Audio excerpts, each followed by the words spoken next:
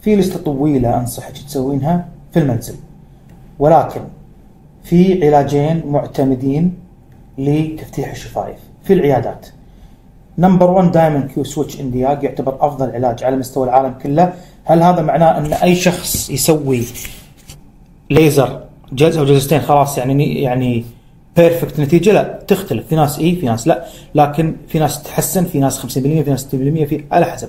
ولكن يعتبر أفضل علاج على مستوى العالم لتفتيح الشفايف يجي بعده العلاج الثاني اللي هو أبر تحتوي على مادتين. hyaluronic acid لجذب الماء وإعطاء ترطيب يعني طويل الأمد وفي هم نفس الأبرة تكون مخلوطة مع مضادات التهاب لأن أغلب اللي عندهم شفايف سوداء بسبب الالتهابات.